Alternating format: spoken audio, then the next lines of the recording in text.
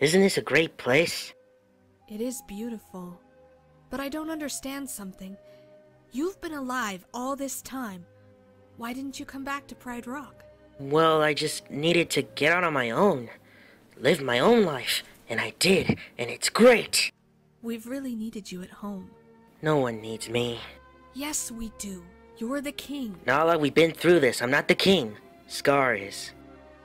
Simba, he let the hyenas take over the Pride Land. What? Everything's destroyed. There's no food, no water. Simba, if you don't do something soon, everyone will starve. I can't go back. Why? You wouldn't understand. What wouldn't I understand? No, no, no. It doesn't matter. Hakuna Matata. What? Hakuna Matata.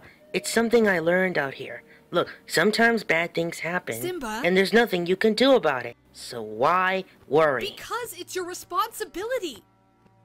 Well, what about you? You left. I left to find help. And I found you. Don't you understand? You're our only hope. Sorry. What's happened to you? You're not the Simba I remember. You're right. I'm not. Now are you satisfied? No, just disappointed. You know, you're starting to sound like my father.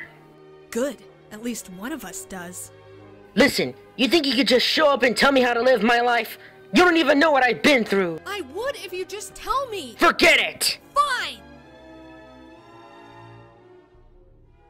She's wrong.